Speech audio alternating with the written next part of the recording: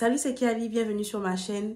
Désolée si aujourd'hui j'ai un peu moins d'entrain que d'habitude, je suis fatiguée, il est 2h du matin, j'ai dû refaire mon make-up deux fois. Bref, aujourd'hui on va parler de comment se préparer pour son entretien pour HEC Paris et d'une façon plus générale pour une école de commerce. Si c'est quelque chose qui t'intéresse, reste connecté, on commence juste après le générique.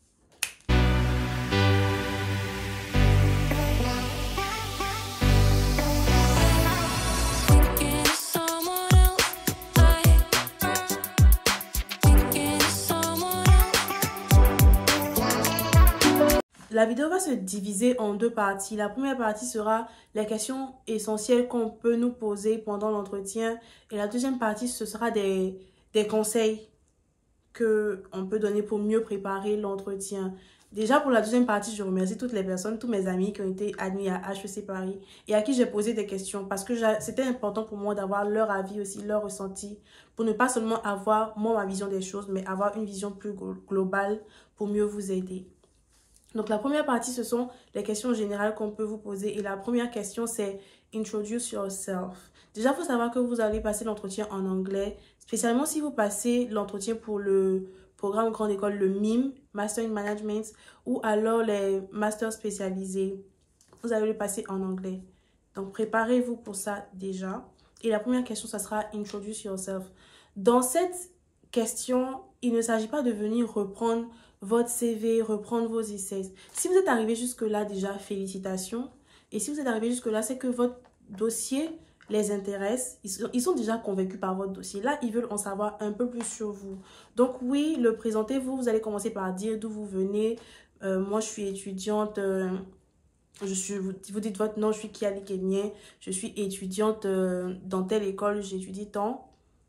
Et là, je suis devant vous parce que je veux, je postule pour HEC Paris, j'aimerais entrer dans cette école parce que je pense que c'est la meilleure chose à faire pour moi. En effet, j'aimerais, et là, vous découlez dans votre projet professionnel. Le but de l'entretien, c'est que vous, vous puissiez diriger l'entretien. Et donc, pour diriger l'entretien, il faudrait que à chaque fois, vous terminiez sur des choses sur lesquelles ils pourront rebondir et que vous allez développer. Donc, quand vous vous présentez, que vous dites ce que vous avez fait avant, ce que vous faites maintenant et ce que vous voulez faire plus tard, donc vous voulez entrer à HEC Paris pour, parce que vous estimez que c'est le meilleur endroit pour euh, réaliser votre projet professionnel parce que plus tard, vous aimerez être temps. Point. Et là, ils vont vous demander ensuite, bah, dites-nous plus par exemple sur votre projet professionnel ou ils vont vous demander ensuite pourquoi HEC Paris spécialement? Donc là, ça sera la deuxième question.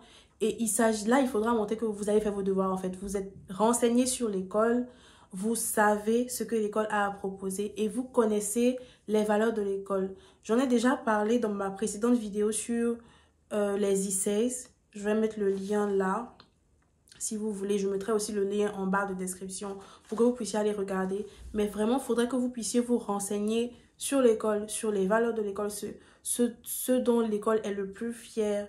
On sait qu'ici, le, le, slogan de l'école, c'est euh, oser. Donc, ils cherchent des personnes qui vont pouvoir oser. Il y a d'autres atouts, il y a d'autres choses dont l'école est très fière, donc, que j'ai cité dans la première vidéo, dans la vidéo sur les ICS. Et dans toutes les autres vidéos, je parle de HEC en fait, que je ne vais pas venir reprendre ici pour éviter que la vidéo soit trop longue. Mais il faudrait que là, vous puissiez montrer que vous comprenez la vision de l'école, vous comprenez les valeurs essentielles de l'école et que vous adhérez à ces valeurs-là.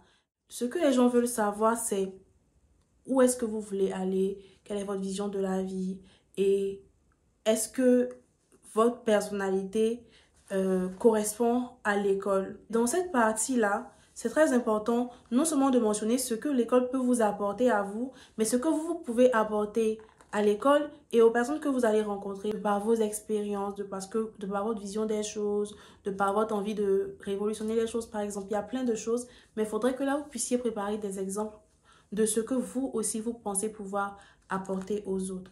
Après, ils vont certainement vous demander pourquoi avoir choisi la France, pourquoi l'Europe. Peut-être que bah, c'est la culture qui vous plaît.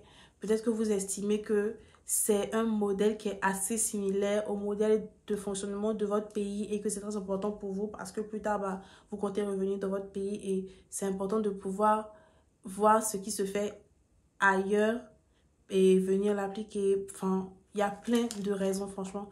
Il y a plein de raisons. Il faudrait que vous puissiez trouver, vous êtes euh, vous préparer pour ça. Il y a des questions qui sont, on sait qu'à tous les coups, il y aura ces questions-là. Des questions sur votre projet professionnel, des questions sur pourquoi HEC, présentez-vous, ça c'est la base.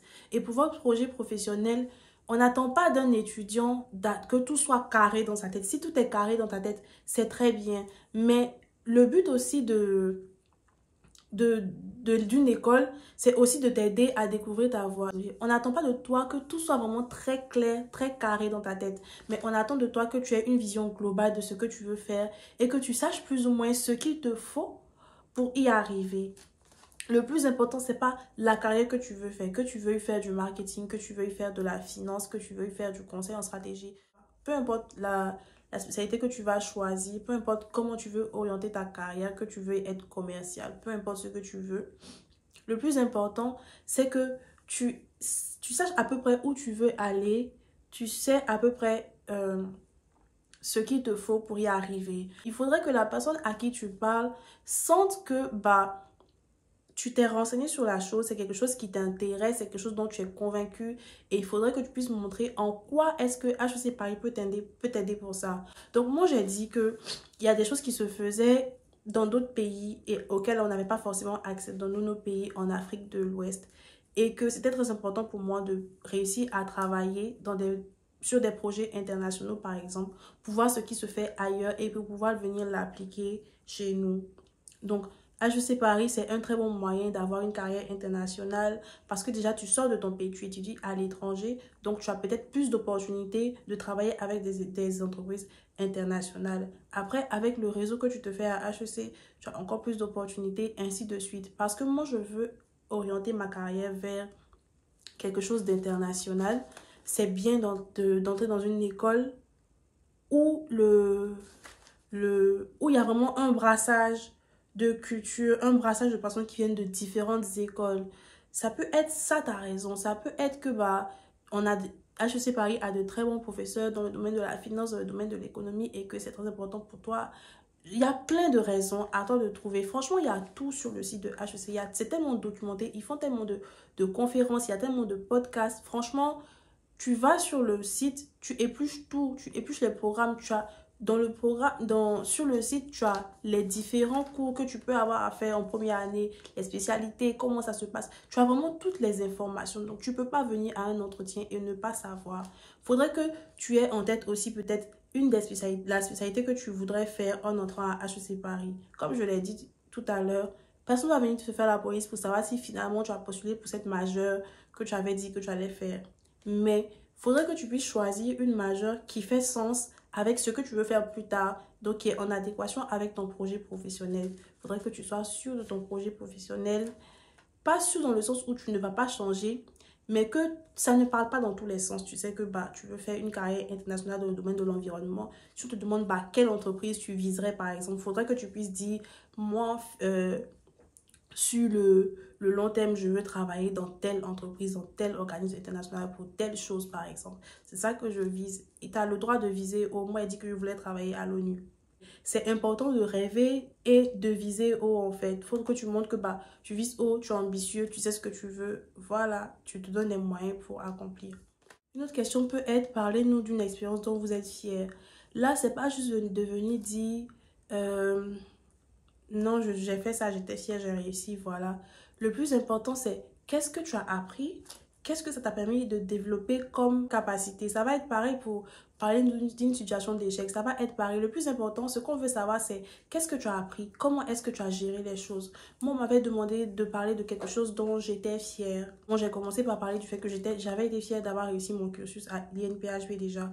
Parce que la filière que j'ai choisie, c'est pas forcément la filière la plus facile pour les femmes et que c'est pas forcément ce qui est censé être euh, le stéréotype de la femme en fait et que j'étais fière bah, d'avoir pu gérer ça et de m'avoir prouvé à moi-même que bah, en tant que femme il n'y a rien qui peut m'arrêter en fait et que si je veux vraiment quelque chose je peux le faire.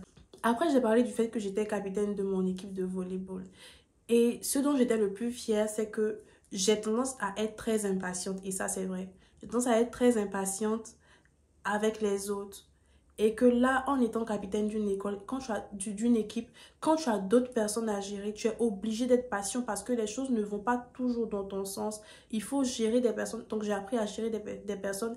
Et pour ça, j'ai dû apprendre moi-même à être patiente, à être tolérante et à être plus à l'écoute des autres. Et que c'est ça dont j'étais fière. Pas seulement d'avoir réussi à avoir une équipe soudée et tout, mais d'avoir pu prendre sur moi, de m'améliorer moi pour être un meilleur leader pour les autres en fait. Et que ça, c'était quelque chose dont j'étais vraiment fière. Parce que il y a peut-être un an en avance, j'étais pas aussi patiente avec les autres et j'étais pas, j'arrivais pas forcément à gérer des équipes aussi bien. Du coup, c'est quelque chose dont j'étais fière. Donc voilà. Le plus important, c'est pas quelle est l'expérience en fait. C'est qu'est-ce que tu as appris. Ça aurait pu être une expérience en entreprise où tu as fait un stage et que bah, tu avais peut-être des deadlines super serrés et que tu as appris à être plus efficace, plus efficient. Tu as appris à savoir prioriser. Tu as appris à savoir déléguer. Ça, peu importe l'expérience, le plus important, c'est qu'est-ce que tu en as appris, comment, comment tu as fait pour en sortir meilleur? C'est ça le plus important, c'est ça qu'on cherche à savoir. On essaye de te connaître mieux et on essaye de comprendre si tu arrives à tirer des leçons de ce qui t'arrive dans ta vie. Donc c'est ça le plus important. Qu'est-ce que tu as réussi à tirer de cette situation? Que ce soit une situation d'échec ou de victoire, c'est pareil. Qu'est-ce que tu as réussi à tirer de cette situation? Est-ce que tu as quelqu'un qui arrive à reconnaître quels sont ses défauts et à travailler dessus pour s'améliorer? Si tu es admis à HEC, quelle, association t'intéresserait, quel sport t'intéresserait? Là encore, on essaye de voir si tu as fait tes devoirs, si tu connais les associations, si tu connais les sports. En fait, on essaie de voir si tu t'es renseigné et quel est ton degré de sociabilité. Parce que le sport, c'est pas obligatoire, mais c'est un très bon moyen de réseauter, par exemple. Du coup, on essaie un peu de voir si tu t'es renseigné et qu'est-ce qui t'intéresse un peu. Voilà. On va passer à la phase de conseil maintenant. Déjà, il faut garder, faut garder en tête que HEC recherche l'excellence. L'excellence académique et aussi l'excellence extra-académique. J'en parle dans plusieurs de mes vidéos. L'excellence extra-académique, je veux dire par là ce que tu fais en dehors de, de l'école. On ne cherche pas juste des personnes qui sont bons à l'école, ils s'en vont à l'école, ils viennent, ils dorment. On cherche des personnes qui peuvent sociabiliser avec les autres parce qu'on n'apprend pas seulement à l'école, on apprend de toutes les personnes qui sont autour de nous, de toutes les activités qu'on fait. Qu'est-ce que tu fais en dehors de l'école? Euh, Est-ce que tu as une vie associative? Est-ce que tu es engagé dans certains projets? Ce genre de choses, c'est très important de le mettre en valeur. Est-ce que tu fais du sport? Le plus important dans tout ça, quand on va te demander peut-être tes activités que tu fais autres à part l'école, le plus important c'est qu'on puisse savoir qu'est-ce que ça te permet de développer comme qualité. Donc les conseils que je peux donner, c'est déjà de bien se renseigner sur l'école. Allez sur le site, franchement, il y a tout. Il y a tout là-bas. Allez sur le site, regardez, cherchez à rentrer en contact avec des personnes qui ont fait l'école. Posez-leur des questions. Si vous avez vu des choses qui vous intéressent particulièrement, si vous avez des questions particulières, posez des questions à des personnes qui font HEC, qui ont déjà fait HEC. Renseignez-vous. Il faudrait que vous puissiez arriver en maîtrisant votre sujet. On ne va pas la soutenance en maîtrisant son thème à moitié. C'est pareil pour l'entretien. Deuxième conseil, maîtriser son projet professionnel. Maîtriser dans le sens où tu sais c'est quoi ton projet professionnel et tu sais ce que tu as dit dans ta lettre de motivation là-bas. Tu sais ce que tu viens dire ici. Il ne faudrait pas balbutier qu'on te demande bah, qu'est-ce que tu veux faire plus tard? Tu es censé savoir plus ou moins. Après, tu dis, bah, moi, je veux travailler dans... Tu n'es pas je te dire, moi, je veux travailler dans tel organisme international, par exemple. Mais moi, je veux travailler dans une organisation internationale parce que voici ce que ça va m'apporter. Parce que ça va m'apporter plus de visibilité. Parce que ça va m'apporter plus d'exposition, plus de ceci, plus de cela. Mais tu veux travailler ici. Pourquoi? Il faut toujours pouvoir justifier vos choix.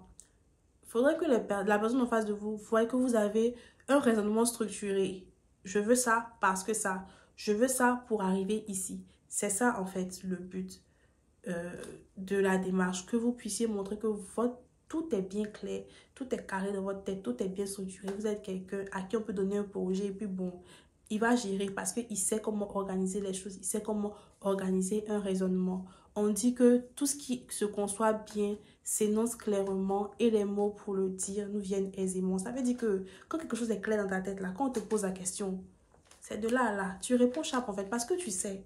Tu sais. Tu sais, c'est comme l'étape de multiplication en fait. Tu connais, tu connais. Troisième conseil, se renseigner sur l'actualité. Surtout, moi, je dirais l'actualité dans ton domaine. L'actualité d'une façon générale, mais l'actualité dans ton domaine aussi. Ensuite, on va dire garder son calme. Déjà, comme je l'ai dit tout à l'heure, si tu es arrivé jusque-là, félicitations. Parce que ton, ce que tu leur as montré jusque-là, ton projet professionnel, ta, personnalité qu'ils ont pu ressortir, ton background qui ressort de ton CV et de tes essais leur plaît. Ça veut dire que techniquement, tu peux entrer à HEC en fait. Là, ce qui va faire la différence, c'est de montrer que tu as un raisonnement cohérent et de faire bonne impression à la personne à qui tu parles. Donc, garde ton calme. Je sais que c'est stressant, c'est en anglais. Moi, je, je me rappelle très bien quand j'ai postulé, il y a un moment où j'entendais pas ce que la dame disait. Donc, je lui ai demandé, excusez-moi, j'ai pas entendu, est-ce que vous pouvez répéter? C'est OK. Si tu n'as pas entendu la question, tu peux demander. C'est OK si arrive un moment où tu perds tes mots. On sait que c'est pas ta langue maternelle. Si tu perds tes mots, tu dis excuse me, tu reprends ta phrase. Les personnes qui sont en face de toi ne sont pas venues pour te juger ni pour te, pour te rabaisser. Elles, sont juste, elles cherchent juste à comprendre qui tu es, qu'est-ce qui t'emmène là, où est-ce que tu veux aller. Elles cherchent juste à mieux te connaître. Du coup, garde ton calme. Et plus tu seras calme, plus ça va, mieux ça va aller. Franchement, aie confiance en toi. Parce que si tu es arrivé jusque-là, c'est que tu en vaux la peine en fait. Donc, il faut juste leur leur euh, genre il faut juste appuyer sur le bouton leur dire que oui effectivement j'en vaux la peine. Je suis venu pour casser la baraque. Asseyez-vous ça va tuer. C'est tout en fait. Évitez de poser les questions qui dont la réponse se trouve sur internet. À la fin ils vont certainement vous demander est-ce que vous avez des questions à poser? Évitez de demander des choses du genre quelles sont les spécialités, quel est le prix de la scolarité? Ce sont des informations que vous pouvez avoir facilement sur Internet. Vous pouvez, par exemple, demander à la personne quelle est la qualité nécessaire pour un étudiant qui veut entrer à HEC, qui veut réussir à HEC, par exemple. Quelle est la valeur de HEC qui fait le plus sens pour vous? Quelle est la raison pour laquelle vous pensez que bah, HEC, c'est l'endroit où il faut être? Vous pouvez demander quelles sont les mesures que l'école prend par rapport au COVID-19 pour assurer, par exemple, euh, le bien des étudiants et que les cours se passent dans les meilleures conditions possibles. Quelles sont les mesures qui ont été prises en place? Qu'est-ce que ils pensent qui va, qui va être pris en place, qui va être mis en place encore. Désolée, j'ai mal sommeil.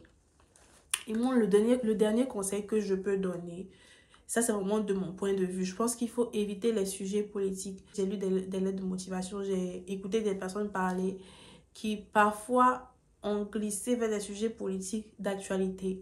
Moi, je pense que c'est vraiment pas la meilleure chose à faire parce qu'on ne sait pas à qui on parle. On ne sait pas qui on a en face de nous. Et si jamais, à ce moment précis, tu as quelqu'un qui n'est pas d'accord avec tes convictions, ça peut te créer des problèmes parce que l'être humain demeure l'être humain en fait. Si tu as fait, et cet entretien, moi je trouve que c'est vraiment quelque chose d'assez subjectif parce que c'est juste que la personne qui est en face de toi va t'apprécier ou pas et c'est tout. Et si la personne t'a pas apprécié, si la personne se rend compte que bah, tu as des idées radicalement opposées de la, de, des siennes, ça peut être compliqué. Du coup, évitez vraiment, évitez les, les sujets politiques, s'il vous plaît. C'est pas le lieu.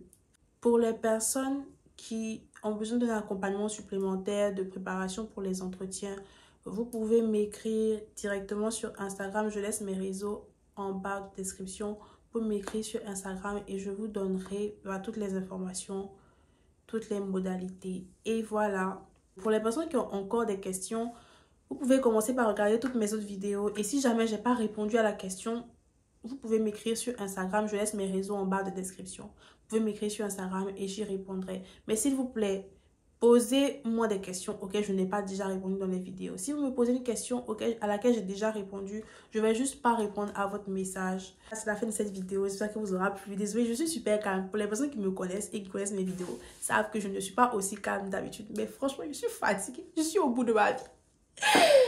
Mais voilà, il fallait que je filme. Merci d'avoir regardé. Bisous